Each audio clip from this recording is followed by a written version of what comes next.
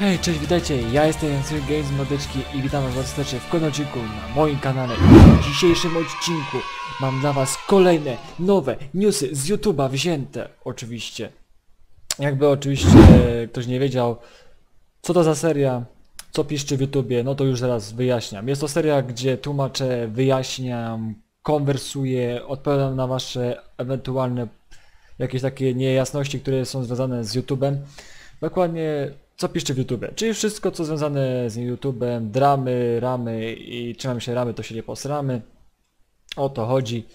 Yy, Dzisiaj sobie w ogóle witam was na kar karierę Leszka Rolnika z kolejnym odcinkiem, bo jak mówiłem serie będą dalej kontynuowane, ale w wersji yy, oczywiście komenterskiej. Będę komentował dość teraz często powracam, bo wybiliście 5 łapek w górę.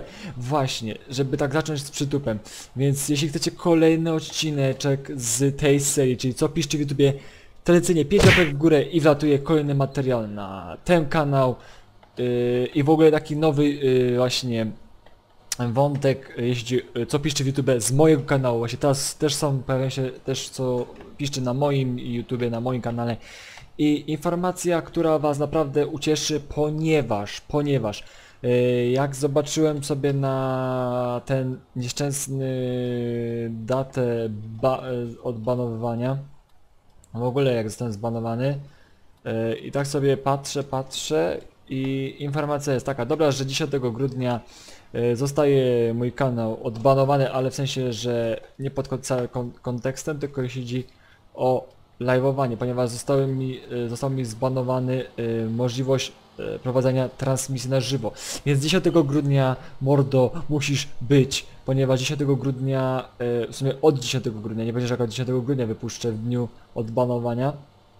Więc od 10 grudnia zaczynamy na nowo streamy. Aktualnie streamuję sobie tak po cichutku na innym kanale, tak konspiruję trochę. y, Można by tak to nazwać. E, aczkolwiek mordo nie ma czym się e, tutaj tak za bardzo e, rajcować, że streamuję sobie na innym kanale.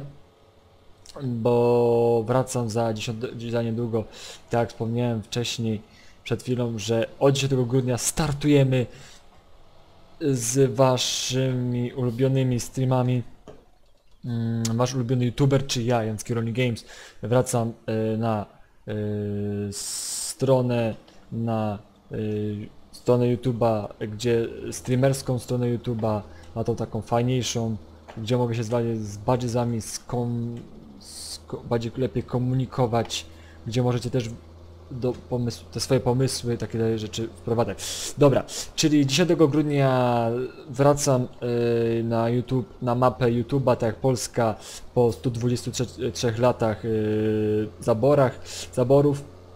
Tak, żeby było właśnie też, że nawiązanie do jakże pięknej naszej rocznicy, y, stulecia odzyskania przez Polskę niepodległości, tak samo ja y, po tym banie, czyli po tych trzech zaborcach, którzy na mnie, który rzucił mi wyzwanie, niestety ten, już nie będę się odzywał na temat TVN-u, bo jeszcze mi to spanują na dłużej, e, także jak jestem y, uwolniony 10 grudnia i będziemy sobie streamować, być zaś śmiesznie, będzie fajnie, bo na tamtym kanale, który teraz obecnie jest, sobie tak streamuję, to tak troszkę lipa, a na tamtym zawsze byliście aktywni, co, za bardzo, co bardzo mnie cieszyło. E, dobra, przejdźmy sobie do dzisiejszego głównego tematu jeszcze, bo to był taki poboczny, żebyście po prostu wiedzieli, taki informacyjny. E, dzisiejszym tematem jest, czy YouTube jest stacją, kolejną stacją telewizyjną, czy też dalej tą samą, szczęśliwą, jakże miodem płynącą, urodzajną, jakże piękne wartości platformą. Ym, moim zdaniem tak. YouTube ma pewne swoje wartości do przekazania. Yy, teraz ostatnim czasem nie jest jakiś teraz złym, złą platformą, choć też nie jest po części po, taką stroną, platformą, gdzie można ją pochwalać za, oczywiście za wszystko, bo to byłoby zbyt dobrze. A sąsiad mi to nie pozwoli sobie wjechać na jego pole, bo to mam małe pole manewru. Yy, no więc słuchajcie. Zacznijmy może od tego, czym jest YouTube. YouTube jest już istniejącą od, dawien dawna platformą. Nie będę tutaj rzucał datami, bo i tak was nik- nikogo to chyba nie interesują suche daty i tak dalej. Tak na historii. Wystarczy, że na historii się na, musicie nasłuchać dat. Eee, więc YouTube istnieje już od bardzo dawna. Mm, I bardzo, jak wiecie, wrzucanie filmów, w ogóle nagrywanie filmów i to, i to wszystko, ta cała otoczka filmowa, produkcji filmów, ro, rozrastała się ta cała produkcja i to wszystko, wszystko, wszystko. Yy, I jak wiecie, teraz większość kanałów prowadzi content typu prowadzący, jest sobie prowadzący i jest oczywiście yy, gość programu. I takie kanały to przynajmniej, jak pewnie większość z Was zna, bo no, no nie chcę mi się wierzyć, że ktoś nie, nie zna, bo jak ktoś nie zna, to naprawdę się nie interesuje YouTube'em. E, A ja Wam właśnie chcę to przybliżyć, jak się ktoś nie interesuje YouTube'em. Tak jak zasłał. No na przykład takim, pro, kanałem prowadzącym jestem ja, ale nie, tak sobie to nie, bo ja nie prowadzę jakichś talk showów, więc ja nie jestem talk showem. Mój talk show to taki troszeczkę inny, bo nie jest nie mam tu jakiejś y, osoby towarzyszącej, ale po części coś komentuję, więc komentuję, ale tak, dobra. Wracając do sedna. Mm, raz sumując, kanałami, które prowadzą tak zwane talk show jest przede wszystkim numer jeden, taki, czy nie będą numer jeden, tylko taki podpunkt pierwszy to jest lekko nie będzie, podpunkt drugi 7 metrów pod ziemią, ale dość mocno psychologiczne wejście, jeśli chodzi o stronę tematów. E, No i teraz pojawił się nam nowy młody kompan, który próbuje coś, oczywiście straszne historie, e, dość na, oparte niby na faktach, ale to jest jakiś taki po prostu naciągane, ale spoko, spoko, popieram. Przynajmniej chłopak ma pomysł na, e, łap, na wyświetlenia na łapki. E, Jest to oczywiście nie kto inny jak DJ Paukerson, dobra nie będę mówił, bo się szanowny wkurzy. Eee, Nie po prostu Żyżej, pozdrawiam Żyżej, e, bo wiem większość tutaj nie lubi DJ-a czy DJ-a Palaside'a, nie, nie szanuje go. E, z tego względu, że no, ma swoją specyfikę gościu, bycie, bycia, na, bycia i tak dalej, ale mimo wszystko szanuję gościa, bo teraz też zaczął prowadzić e, content prowadzący, czyli jest sobie gościu, który prowadzi da, dane, daną rozmowę, i oczywiście gość programu. E, On tu bardziej teraz się skupił na kontencie starsze historie, czyli dalej się trzymie swojego kontentu, ale zmienił go pod takim względem, że on teraz tylko wszystko opowiada, z, go- z goście się też mogą wypowiedzieć na ten temat. I też mogą opowiedzieć takie, takie starsze historie, głównie to polega na tym, że starsze historie opowiadają, to jest sami doświadczyli pana, paranormalne też zdarzenia. Niektórzy byli świadkami i sami je przeżywali. Aczkolwiek w sumie miałem kościć y, wu- wu- Łubin, znaczy Łubin, y, soję, więc może tu się gdzieś roz... bo tu w ogóle jest fajne miejsce widzę do rozłożenia się, więc no, tu się gdzieś nagle stacjon- stacjonował, więc sobie też pojadę teraz. A pojedziemy sobie na, y, nie Łubin, tylko na soję. No bo tu, tu, tu, będzie mam lepszą wysepkę do stacjonowania. Tu w sumie jest łąka, nie? No to na łące lepiej się było ro- rozłożyć. A dobra, też za chwilę wszystko przetransport... Kurde, tu przejechać to też jest... Jakoś... ha- graniczy cudem. No i słuchajcie dalej. Y, lekko nie będzie, to każdy na pewno z was zna. Prowadzący to jest oczywiście Tomasz Działowy, zwany też y, gim, tradycyjnie wasz ulubiony yy, hajsownicy Gimpera, czyli Gimper. Ale no, tak na pra, pra, prawdziwy to tak Tomasz Działowy. Jest to oczywiście prowadzący lekko nie będzie. Yy, kanał jak najbardziej teraz dobrze się rozwijający, prosperujący, jeśli chodzi o siecie YouTube'owego talk show. Yy, tak samo 7 metrów pod ziemią, tylko, tylko z lekko nie będzie też go znam, bo ostatnio był. I i on ma takie coś, że on tam się zajmuje e, pomaganiem ludziom.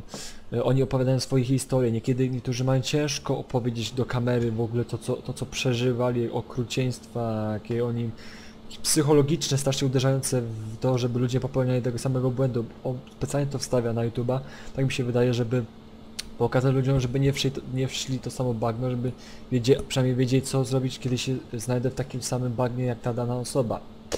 Yy, to jest jedna sprawa. Yy, dzisiaj Palasite on to prowadzi też, żeby było dość ciekawe, bo to wiecie, mroczne sytuacje, mroczne historie, każdy ma nawet jeszcze youtuber, czy pro, ogólnie jakiś yy, nowy gość. On to głównie youtuberów zaprasza, ostatnio był, pierwszy był gościem to był JD, którego wszyscy mówili, że jebać Disa, a to, to jest po prostu Dis. I on tam też właśnie opowiadał swoją przeżycia, straszne historie. No, ale do czego chcę nawiązać? Te trzy kanały to są dobrym przykładem, a czy nie tego lekko nie będzie, możemy się skupmy, lekko nie będzie, to jest dobry, najlepszy y, priorytet, na który się będę opierał. Głównie. Takie dość dobrze znany talk show.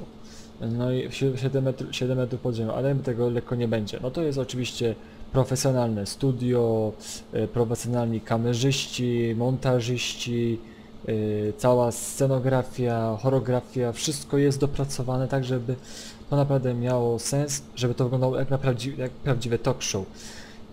I zaczynały się pojawiać, na YouTube zaczęły się pojawiać talk show. Czyli to znaczy, że y, telewizji też mamy wie, wielorakie, szerorakie i w pizdu szare bakie, takie srakiejowakie, różne tam yy, że do mnie dzwoni, dobra, nieważne, yy, takie talk showy i talk show na telewizji jest tego multum. Na YouTubie tego nie było. To jest y, nowy, jakby, nowy kierunek, w którym idzie YouTube. YouTube teraz w ogóle, zacznijmy też, bo dlaczego zacząłem od definicji YouTube'a? Właśnie też muszę do tego wrócić, bo to tak troszkę z dupy, żebym wyciągnął wnioski. Bo YouTube to jest najbardziej teraz rozwijająca. On się rozwijał i siedzi pod względem jakości. Po prostu twórcy cały czas dążyli do jak najlepszej jakości. YouTube też dążył tak, żeby twórcy mogli robić jeszcze lepsze filmy, jeszcze lepsze jakość, lepsze wszystko i tak dalej. Do tego jeszcze programy do montowania, to wszystko. e, Sprzęt do nagrywania się teraz ulepsza, GoPro, e, GoPro e, dookoła, to takie tak zwane 3D, czy tak się nazywa? Nie, GoPro 360, różne takie pierdoły, żeby to właśnie te filmy lepiej wyglądały, lepiej to y, można było robić coraz lepsze pomysły, lepsze filmy. Bo im lepszy sprzęt, tym lepsze pomysły przychodzą do głowy, a im lepsze przychodzą pomysły do głowy, tyle więcej więcej łapy w górę, więcej wyświetleń i lepsze pomysły mogą przychodzić jeszcze do głowy. Więc na tym polega też talk show. Talk show, żeby zacząć, yy, to lekko nie będzie. Tomasz Działowy musiał się postarać przede wszystkim o studio. Musiał to tak, to studio zrobić, czyli te wszystkie telewizory, te wszystkie, no to wszystko to tam, to studio, te wszystkie elementy, które tam widzimy, yy, to jest normalne studio i to tak musiało wszystko wyglądać, żeby to naprawdę miało było na poziomie, takie wiecie, studio naprawdę z prawdziwego zdarzenia. I żeby Tomasz Działowy mógł się po, poczuć jak prawdziwy prezenter. Prezenter, no prowadzący, no w każdym razie jak, jak to zwał, tak zwał e, tego talk show. No i to jest kolejny aspekt, y, to, że Tomasz Działowy y, musiał się zmierzyć z tym, żeby się wczuć w, z youtubera, który sobie rapował, który nagrywał powiedzmy, myślę może nie durne filmiki, ale takie śmieszne, takie zabawy, takie, taki typowy, taki gracz, taki typowy youtuber, taki wiecie, taki typowy youtuber, hehe, family friendly content, nie nagrywam sobie gierki. A teraz Tomasz Działowy, on jednak teraz nam pokazuje, e, że jednak jest teraz człowiekiem poziomu, ponieważ nagrywa Overwatcha, gdzie też e, on ma swój też kolejny program, gdzie taki już będzie też gdzie opowiada, ale to już nie jest talk show, a to takie, takie właśnie jak ja teraz robię. Takie ciekawostki wam mówi. Ale wracając do jego talk show. Yy, na YouTubie, widzicie, żeby w ogóle się wybić na YouTubie teraz, żeby było w ogóle wszystko picuś, lep, lepsze wyświetlenia, przede wszystkim trzeba mieć dobry sprzęt. Ten sprzęt niekiedy jest warty 100 100 tysięcy złotych, taki przykładowy Gimper kiedyś podawał to w Overwatchu 3.0, że taki dobry sprzęt do lekko nie będzie, czy w ogóle dobry sprzęt, to 100 tysięcy trzeba się nieźle wykosztować, żeby te oświetlenia, żeby to wszystko, właśnie oświetlenia, to wszystko robi, y, napędza rynek. Ponieważ rośnie zapotrzebowanie na lepsze kamery, na lepsze oświetlenia, w ogóle wszystko, żeby jak najlepiej nas było widać, słychać, y, te wszystkie kamery z mikrofonami, to wszystko ma znaczenie. Żeby był dobry mikrofon, żeby nie było szumów, żeby też montaż, montażowo to jakoś wyglądało, żeby miał spójność, żeby nie, że sobie e, nie wiem, jak przykład, o, Freeze to przykładem, że Freeze e, jak montuje filmy, to na przykład, na przykład kurtkę rozwija, nagle subskrypcja jest, nagle jej nie ma. Takie wiecie, fajne bajery, takie drogówne, gówniane, gówniane bajery, a jak bawią i jak y, podobają się ludziom, że o kurde, też tak chcę montować, ale to a nie potrafię, a, a, fa, a fajny filmik, więc pozdrawiam, szanuję za taki montaż. Więc niektórzy ludzie, są tacy właśnie różni y, typy ludzi, y, widzów. Są tutaj właśnie głównie, tu będą głównie widzowie, którzy zwracają, są tacy właśnie widzowie, gdzie zwracają sz- na szczegóły y, typu takie właśnie mm, organizacyjne, czyli y, typu a masz w pizdu całe mikro, jakbyś z dupy wyjął, właśnie mają, ła- łapią y, ten haczyk, tą y, ten, że masz do, po pierwsze patrzą na jakość filmu, patrzą jak ten film został nagrany, monta, montaż przede wszystkim, czy to w ogóle ma sens, czy to spójrz, czy to fajnie się będzie oglądało, bo jak to montaż, dźwięk, te wszystkie muzyki się nie zgadzają, wszystkie też jak dodaje, dodajecie muzykę do filmów, to ogólnie mówię, a w ogóle jak się w ogóle tworzy film na YouTube, bo to, to wszystko się wiecie, to talk show, o, będę odbiegał tak troszeczkę od tematu, e, że wiecie, bo talk show to ma znaczenie, nie? Też do tego. E, W ogóle jak się tworzy filmy na YouTubie. No YouTube jest taka, teraz taką, powiedzmy, kolejną stacją telewizyjną, tworzy się kolejną stacją telewizyjną, e, ponieważ no pojawiają się różne talk show, różne ciekawostki związane ze światem i tak dalej. No, e, jest też e, coś dla dzieci, jakieś, jakieś family friendly bajki, też, to też pojawia to samo co w telewizji. Czyli tak naprawdę YouTube jest e, jedną wielką telewizją, taką stacją telewizyjną, która, pusz- która ma, jest, ma całą telewizję za, z, z, zusammen do kupy z, zwinięte w jednej platformie, ponieważ telewizja ma z ponad tysiąc kanałów, nie wiem, z bajkami, z Discovery, e, Discovery, takie różne, wiecie, ciekawostki z życia, a YouTube tylko sobie wpisze, przykład, nie wiem, ciekawostki o tym i o tym, historyczne, a tak musicie na historia, e, TVP Historia wejść, przełączać kanały, po co przełączać tysiąc, po co płacić za tysiąc kanałów, jak macie jeden wielki, wspólny, światowy kanał, którym jest YouTube, a macie tam miliardy, miliardy, naprawdę miliardy, bo jest miliard różnych kanałów o różnej tematyce. I na pewno któryś z Was na pewno Was zaciekawi i zasubskrybujecie i oglądacie, nie? Więc e, to tak jakby yy, macie, do- dodajecie na pilocie kanał do ulubionych. Tak samo dodajecie y, właśnie ulubione Wasze mm, kontenty, y, to co tworzą twórcy content, czyli coś co, co go wyróżnia od innych, albo co, co jest charakterystyczne dla niego. Na przykład lekko nie będzie to jest typowe talk show. Taki jest jego content. To content talk show. E, mój content to jest rolnictwo na przykład. To jest, to, to jest, to jest tak zwany content. To się nazywa content. Albo family friendly content, czyli content dziecięcy, content bardziej taki przyjazny dzieciom. Content przyjazny YouTube'owi. Właśnie, a propos przyja przyjazny YouTube'owi. YouTube od, od swego czasu teraz prowadzi y, walkę z patologią na YouTubie, co mi się podoba, y, ponieważ teraz zarządza YouTubem kobieta. No wiecie, kobiety mają swoje tendencje, że one muszą być, mieć family friendly, family friendly, to jeszcze w ogóle będzie tak, powiedzieć, tak jak dziecko. Ale family friendly, no wiecie o co chodzi. W ogóle mam serial jeszcze y, o, o 20 35, więc zaraz kończę.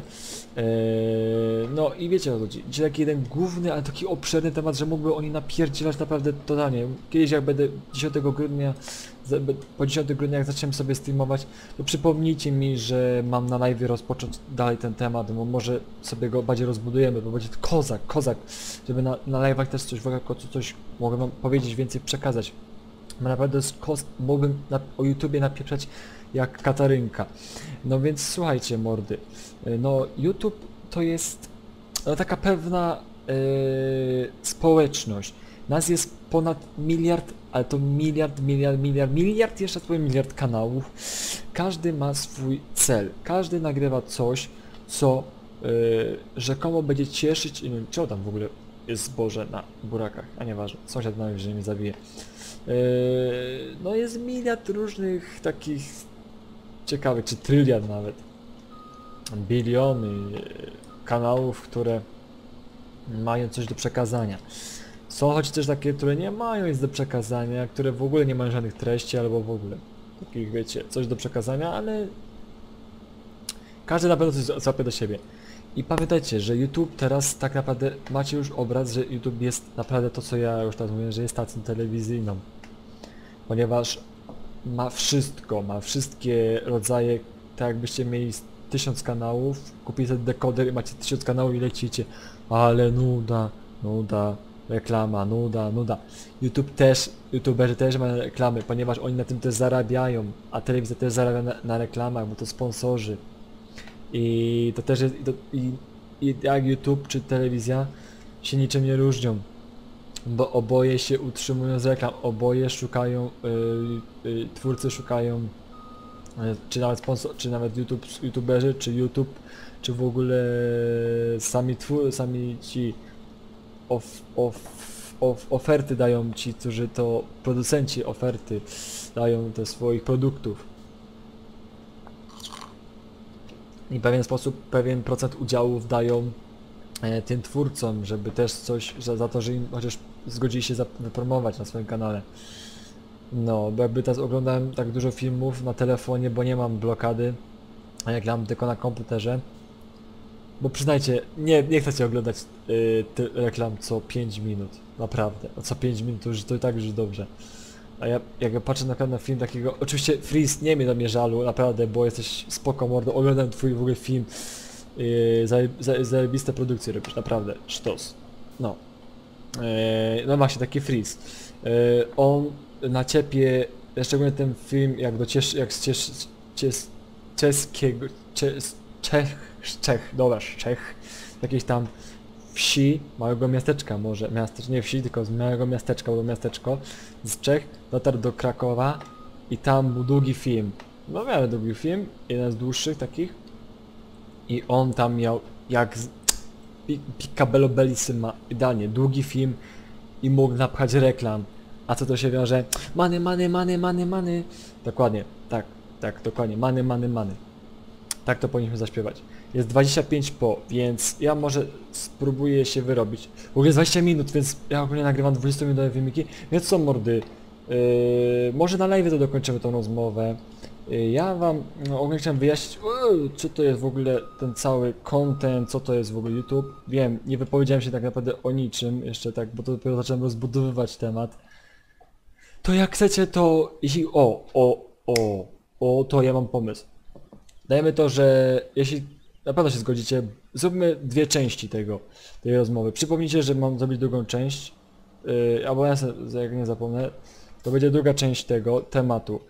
Yy, czyli zrobimy sobie dwie części, mm, gdzie część pierwsza tematu, yy, czy YouTube jest, yy, nazwijmy to jednym tematem, żeby to był jakiś jeden temat. Czyli pierwszy, pierwsza część, czy YouTube jest stacją kolejną stacją telewizyjną, czy też normalną platformą. Więc jeśli jesteście ciekawi, co dalej mam do powiedzenia na ten temat, co dalej chcę wam przekazać, może jeszcze do, do tego czasu, jeszcze na, do, do kolejnego odcinka nazbieram e, jeszcze świeżych informacji, co jeszcze wam mógłbym powiedzieć o tym YouTube, bo naprawdę masa rzeczy. Yy, no. I tak pewnie jeszcze parę minut jeszcze się utnie tego początku i tak dalej. Czajcie, wiecie o co chodzi.